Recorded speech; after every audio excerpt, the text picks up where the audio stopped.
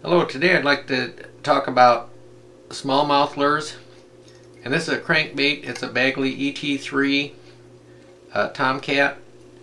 Uh, just excellent baits. A lot of people don't realize how good they are. Uh, in a tournament, I saw a fella take two five and a half to six pound smallmouths with that, and he won the tournament.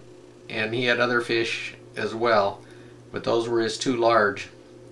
And uh, you get outside the weed lines in the fall, once the weeds start to die down just a little bit, those fish are going to move off to where there's more oxygen because the weeds dying down uh, takes oxygen out of the water and so the fish will move out away from that just a little bit and so he was casting out in front and uh, using these types of lures. Uh, this color uh, in particular and uh, kind of a fire tiger and uh, but the blue and silver is excellent as well.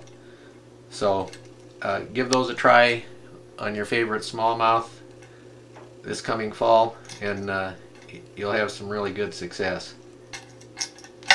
Good luck.